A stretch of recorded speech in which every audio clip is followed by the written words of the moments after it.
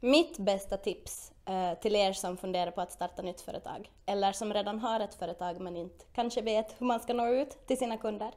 Sats ordentligt med tid på att fundera hurdant varumärke du vill ha, vilken image du vill visa ut åt dina kunder. Vem är ditt företag? Vilka är dina kunder? Vad är det du erbjuder? Sats ordentligt med tid på att fundera igenom dessa punkter, så då, då funkar det.